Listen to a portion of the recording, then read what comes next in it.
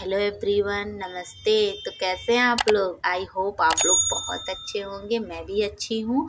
तो आप लोगों में से बहुत से लोगों का कमेंट आया था कि, मैम, कोई ऐसा ट्रिक बताइए जिससे हम लोग अपने घरों के झींगुर को भगा सके। तो दोस्तों, सबसे पहले ये जो जीव है, बहुत ही आशुभ जीव है और हमारे घरों में ये बरसात के सीज़न में आते हैं और ये जब आते हैं तो काफ़ी ज़्यादा गंदगियाँ ले करके आते हैं और हमारे जब ये कपड़ों के अंदर या किचन में या घर के हर कोने में चले जाते हैं तो वहाँ से बहुत ज़्यादा बदबू आने लगता है। तो आप लोगों ने कभी केयर किया होगा कि कपड़े आप लोग बरसात के सीज़न में रखे रहते हैं और बदबू करने लगता है।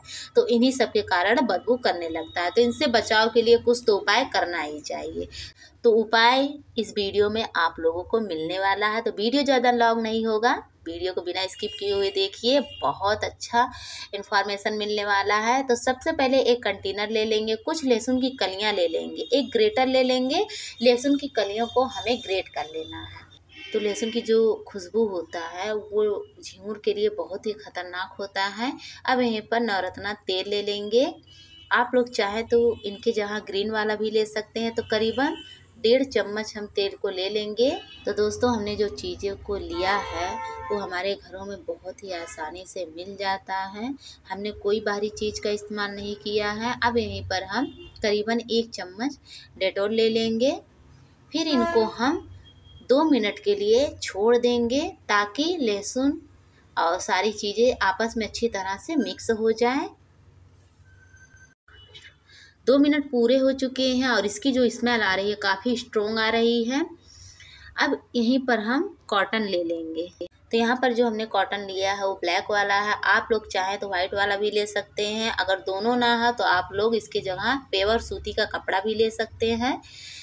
इसके बाद फिर कॉटन के छोटे छोटे टुकड़े को अलग कर लेना है और बने मिश्रण में इसको हमें घोल लेना है। तो घोलने की क्या ज़रूरत है, ये सोख लेंगे। तो जैसे कि आप लोग वीडियो में देख पा रहे हैं, इनको हमें लपेट लेना है। तो इसी तरह से हमको जितनी ज़रूरत है, उतने पीसेस बना लेना है। तो देखिए, सारे पीसेस बनके तैयार हो चुके हैं। अब इसे आप लोग कब रखें? इसका रखने का सही तरीका क्या है? तो आप लोग इसे किसी भी समय रख सकते हैं और जहाँ पर लगे ये झिंगुर लगते हैं, वहाँ पर एक एक कॉटन का ये टुकड़ा रख दीजिए। देखिए, दो मिनट भी नहीं, दो मिनट क्या, एक मिनट भी नहीं लगेगा। आपके यहाँ से घरों से झिंगुर गायब हो जाएँगे और झिंगुर को भगाना बहुत ज़रूरी होता है क्योंकि ये बहुत ज़्यादा खतरनाक होते हैं। तो मेरी वीडियो आप लोगों को कैसे लगी, आप लोग हमें कमेंट करके ज़रूर बताइएगा और आप लोग कहाँ से देख रहे हैं मुझे, किस शहर से, किस गाँव से, ये भी बताइएगा ताकि आप लोग को हम धन्यवाद दे सकें। मिलते अगले वीडियो में, तब तक के लिए बाय बाय